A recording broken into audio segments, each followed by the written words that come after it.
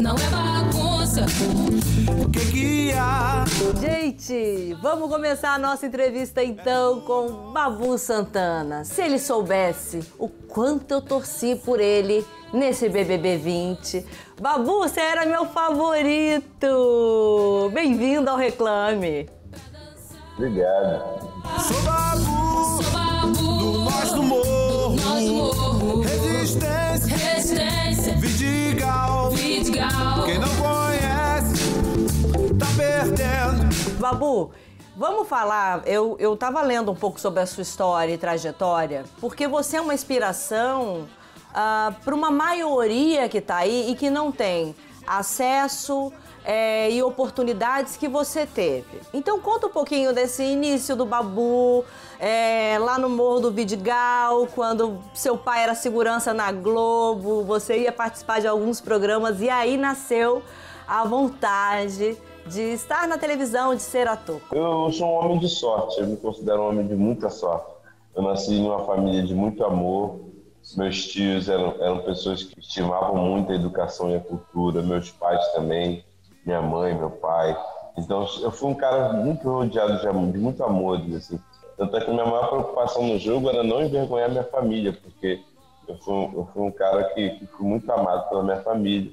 E quando você fala do meu pai quando ele virou segurança, é quando as coisas ficaram boas. ele era segurança lá da Globo. A Globo é uma, é empresa maravilhosa de trabalhar assim. Não é de hoje que, que né, porque eu fui no BBB, não, é, desde meus. Meu pai entrou na Globo em 86, eu tinha 7 anos de idade. Né? Então, assim, desde os 7 anos de idade, é, eu via lá que era, uma empresa bacana. Então, já vislumbrava alguma coisa ali naquela empresa era uma empresa de muito respeito né, no, no, país. Era um desejo que era facilmente confundido com uma fantasia. Então eu achava que ator era uma forma de me divertir e depois ter um trabalho. É, aí quando eu comecei a descobrir que essa diversão podia se tornar um trabalho, foi quando eu encontro Nós no Morro, né? Eu, eu alimentei minha curiosidade, fiz parte de grupos amadores e tudo mais quando eu entro no cinema, o cinema me abraça e eu recebo muito, muito retorno desse amor, dessa dedicação que a gente teve. Né? E surge é, o, o, o, Big Brother no momento de crise, foi muito engraçado. Eu, eu fico imaginando é, se eu tiver, se eu tivesse sentado no Big Brother e estar tá nesse meio dessa pandemia, ia ser uma coisa. Eu vejo meus amigos, né? Todo mundo com muita dificuldade. Então, até nisso eu me considero homem é, de, de, de, sorte nesse sentido. Eu já vi você, assim, é, sendo garoto propaganda ou é, fazendo uma propaganda para diversas marcas. Tem a Omo recentemente que está muito legal, inclusive. Como é que é essa relação com as marcas? Quando você vai fazer as, suas, as campanhas publicitárias, você também dá seus pitacos? Você também fala, ó, oh, isso aqui tem mais a ver comigo, isso aqui vai agregar mais para tua marca. Você também tem esse olhar? Ah, tem. Cara, tem essa coisa da uma coisa nova que eu peço para vocês. E vocês aí que estão aí na, nos bastidores aí também do reclame. Paciência, cara. Esse negócio de direção remota é uma perturbação Gente do céu, esse negócio de direção remota é uma coisa nova que nós precisamos aprender. Meus amigos atores, calma, paciência também. Direção remota não é fácil. É, é nossas é, pitaco é em relação a. Ah, chega mais para trás. Não tem como chegar mais para trás, uma parede. Assim, em, em relação de texto. É, o que você acha eu fazer assim? Mas é importante, né? Até porque Hoje em dia tem que ter muito a ver com a pessoa, tem que ter o DNA dela ali, né? Se ela que está fazendo a propaganda para a marca, não tem. Porque as pessoas já conhecem o Babu. Então, assim, marca, as marcas também estão se adaptando a isso. Né, a entender que as, ela tem que estar tá ali totalmente é, a, a, ali junto, né, com uma afinidade com, aquela, com aquele protagonista da sua campanha? Até isso eu dei muita sorte. Todas as marcas que a gente trabalhou, a gente sempre foi recebido com muito carinho. Eu tinha medo, porque eu não, eu não sou da publicidade, né? Eu comecei a fazer publicidade agora. Imagina, 20 anos de carreira, você começa a fazer publicidade agora. E eu estou adorando, amando, é, é, é, é e para mim está sendo desafiador além, além de, de- de ser, a, recompensa é muito boa, mas também tá, a questão é, da cabeça, do movimento. E vamos seguir que o pai tem três filhos. E tá ótimo, né, Babu? Eu tô, eu tô achando mó barata essa sua fase também, apresentador. E é isso, a quarentena trouxe todo esse aprendizado que você falou aí. Você é procurado, eu acredito, por várias marcas. Enfim, você é um cara que hoje é, engaja, dá audiência. Tem, tem toda uma curadoria sua de tipo, é, com essa marca eu faço. Aí com essa aqui não tem meu perfil, não rola. Já vem, já vem filtrado. A gente era pra aqui, só, aqui só- chega água filtrada, só gente boa, porque a galera é muito competente. É, é, é, são marcas assim, a Omo, por exemplo, é muito engraçado, é muito legal você fazer a marca do produto que você usa, sabe? É, é, é- é muito bom mesmo. É, é, você fala, você tá ali, tá faturando, tá, fa- tá, tá vendendo um, pro- um produto que senhor usa porque eu gosto de, né? É, é, tem toda, é, isso é uma, uma visão leiga. Tem toda uma vis- vistoria técnica, né, que é feita lá pela Mais, né, da origem, eu acho que eles pesquisam da origem daquela empresa, né, quando, é um, quando são essas grandes, né, essas grandes não são grandes à toa, né, mas quando são, é, é, é sempre estão sendo, é, a gente, quando chega em mim, é porque é é uma coisa que tem a ver comigo. Queria falar, a gente falou sobre as marcas, sobre as campanhas e tal. Eu queria entrar num assunto com você que é bem importante. Porque você hoje, se a gente for olhar, é um dos poucos ah, pretos é, protagonizando campanhas. Você tem noção disso? E o que, que você acha que precisa hoje para a propaganda? Porque se fala muito em propósito, precisamos ir contra o racismo, precisamos ter mais diversidade, representatividade, mas isso é o que você falou, é como a arte, tem que ser sincero. Na marca também, né? A marca realmente tem que acreditar nisso e trabalhar para que isso melhore a diversidade, né, a representatividade, é, ou de mulheres em liderança, negros, enfim.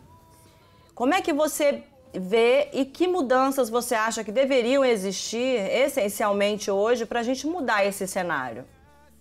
Eu lembro quando eu era jovem, é, é, a gente tinha uma, uma, uma lei que obrigava a- a- as ações, a televisão a usar 20%, pelo menos 20% da, da, do elenco preto, ou, ou de afrodescendentes, né, como eles chamam.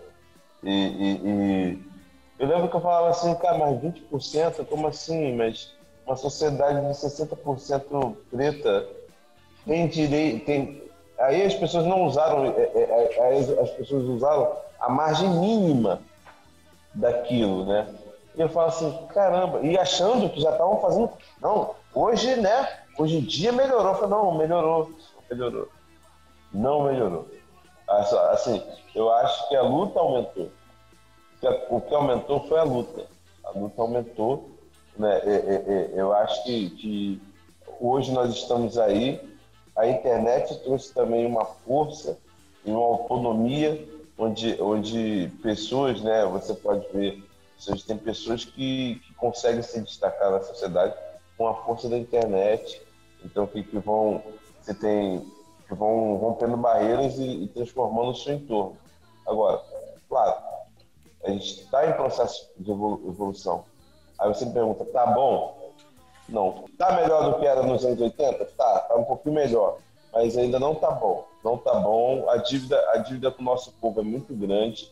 É, é, e se a gente se, se insistem tanto em falar em meritocracia, então vamos deixar o- o- a, a, a, a briga justa para tentar conquistar os mesmos méritos que nos foram negados há, séculos. E até hoje a gente tem que brigar, lutar, é, ser, massa, ser massacrado diante de uma câmera para poderem acreditar e verem que o negócio é sério. Nós somos uma massa muito grande de consumo. Né? Não, não tem outra, outra, outra questão que não seja uma questão de, de, de preconceito e que a gente tem como humanidade, evoluir. Né? Porque 60% dessa população, da população desse país vai se sentir representado, precisa ter produtos específicos também para a gente. E, e, enfim, é, é, vai chegar uma hora que o nosso povo mesmo vai se tocar e nós mesmos podemos empurrar essa questão. Nós somos a maioria, nós é, é consumindo o que a gente faz, consumindo marcas que, que privilegiam é, é, é, ter, ter, representantes pretos e, e afim, consumir novelas, séries que também que, que priorizam esse protagonismo preto. A gente pode também mostrar o nosso poder de consumo que nós queremos ser representados. Você é uma representação muito forte e talvez até uma inspiração para muitos jovens é, que também sonham e buscam oportunidades, né, em ter acesso às coisas que você teve. Tem que lutar com as armas que tem. Eu tive o Nós do Morro, eu tive o Nós do Morro, eu acho que ainda, ainda existe muito, tem a CUFA, tem o AfroReg, tem, muito, tem muitos, tem alguns espaços aí que, que, que, que estão abertos a quem quer desbravar essa loucura de, de, de cair para dentro. Infelizmente, essa é a nossa realidade, né? A gente tem que a gente não pode fraquejar em momento nenhum. Isso é muito triste saber é, é, que, eu, sou. É, porque eles tinham tão, tem tanto talento espalhado por aí, que tem muita gente que desiste porque se desanima, né? É, um, cara, ser artista, ser educador no nosso país é desanimador. Mas a gente que trabalha com educação, com arte, com cultura, a gente não pode esmorecer e é nessa hora que a gente tem que se reinventar. Verdade. Nossa, eu até, até me arrepiei agora, porque é um assunto também que me tira do me deixa louca, que eu fico pra morrer. Você falou sobre aceitar o outro, e eu acho que o BBB é muito esse exercício também, né? Principalmente para quem entra. Mas não deixa de ser um exercício pra gente, que a gente também se depara com personalidades e pensamentos é, que às vezes são opostos ao, aos nossos. E hoje em dia isso está cada vez mais difícil, porque temos aí uma polarização absurda é, na qual as pessoas não aceitam muito a opinião alheia, não aceitam muito o diferente do que eu penso, né? Então eu queria que você falasse um pouco sobre isso, porque a partir desse movimento nasce um outro movimento que é muito grave, inclusive, que pode gerar problemas piores, que é o cancelamento. Aliás, o BBB de vocês foi o recorde de cancelamento. Todo dia um era cancelado aqui fora. Como é que você vê isso como artista? Isso é muito sério, principalmente quando você sai do campo da, do virtual e entra no mundo real. Né? É, uma, imagina, do nada, é, é, é, o cara tá andando na rua e começa a ser xingado, do nada, você não tem nenhuma relação com a gente, hoje em dia, com tanta fake news, a gente estar ligado, ficar, vem cá, é, essa pessoa realmente, de fato, fez isso que, que a gente está falando? Então, o cancelamento, para mim, às vezes, eu sei que ela, tem gente, eu já debati isso com os meus amigos, gente, tem uma, tem uma função ali com, com, com uma questão ou outra, mas assim, brother, é, é, é, eu acho que, que eu gosto das coisas que, que me remetam amor. Cancelamento não me remete amor, me remete briga, me remete intriga. E o mundo já está tão complicado, a gente precisa de mais amor. Ô, Babu, muito obrigada.